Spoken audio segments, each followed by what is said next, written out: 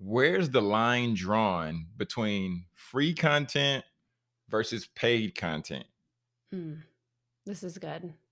So, this is going to be different for everybody. So, for Mhm. me, okay, so here's here's what it is because I do have a program, right? So I have a program and a lot of what is inside that program, you could go and you could find a lot of similar information. You aren't you're not going to find the exact videos and everything on YouTube, but you will find very similar information. And the reason is is I'm teasing out a lot of that content to be shared so people see she knows what she's talking about. She Mm.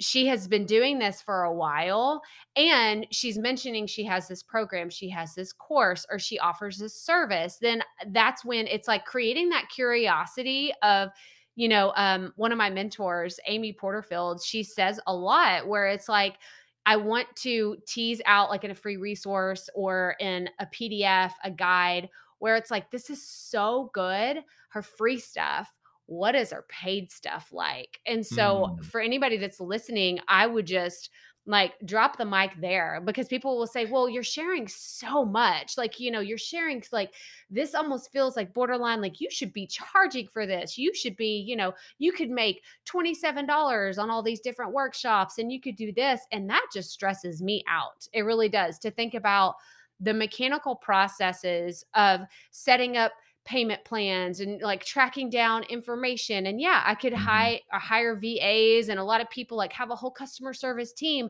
But at the end of the day, there's just going to be some people that are my raving fans on YouTube.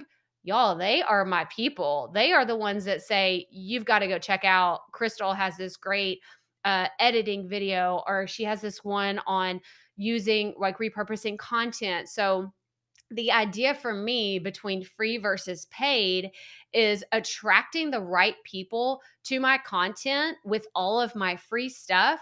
So that buying decision is so like, uh, usually by the time, and it was funny because I had somebody recently say, "Oh, I already watched all your YouTube videos. I listened to all your podcast episodes. Like, I, I, I don't even need to talk to you. Like, I don't even have to have a direct conversation with you. I feel like I know who you are, and I know Mm. what you deliver. I know how you teach. I know I want you to be the person that teaches me.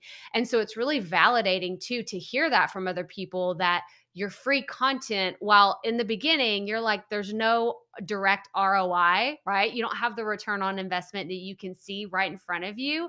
But man, I'm telling you, if you stick with it and you have that content that's super valuable and it over delivers and it really helps people, then it's going to be Mhm. something that they're like, this is a no brainer. Yeah, they, it's like, take my money, just take it. You know, I like, this is fantastic. So that's really the way that I look at free versus paid.